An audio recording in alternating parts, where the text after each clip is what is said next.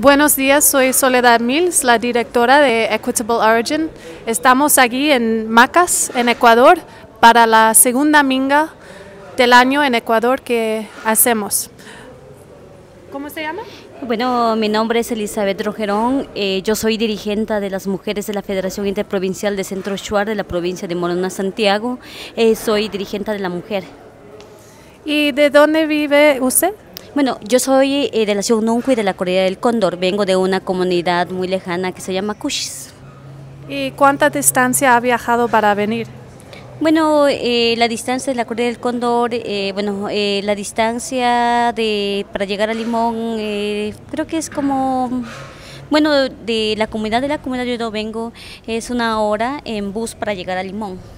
Y bueno, también hay otros compañeros que llegaron de dos días de camino, que también está el presidente de la acción.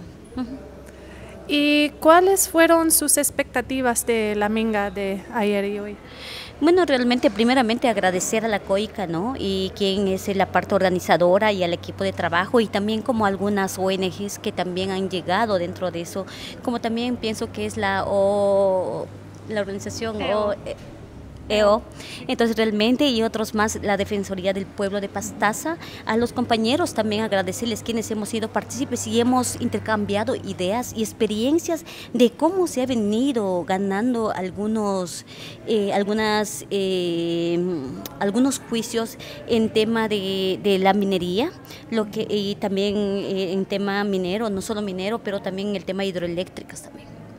y realmente para nosotros por primera vez en Morona Santiago, porque Morona Santiago ha sido la más afectada en el tema minero, porque ahorita ya vemos que hay la Correa del Cóndor, lo que es eh, Warins, está la compañía Lowell Mineral, eh, también estamos amenazados por Sólidos, hay otras empresas más que están dentro de, de la provincia de Morona Santiago. Y si bien es cierto, creo que estas experiencias, esas herramientas que nos han dado sobre nuestros derechos colectivos, sobre cómo, cómo, cómo defender nosotros también nuestros territorios de estas transnacionales que siempre nos han venido amenazando eh, año tras año y realmente creo que ahora es ahora es hora de hacer una minga con todos los actores sociales quienes están y también nuestras voces de Morona Santiago se llega al nivel del mundo y también hacer un llamado a todas las ONGs que están que, que ellos están defendiendo la naturaleza, la naturaleza, pero que también lleguen los recursos y que también las ONGs lleguen a Morona Santiago y nosotros las mujeres también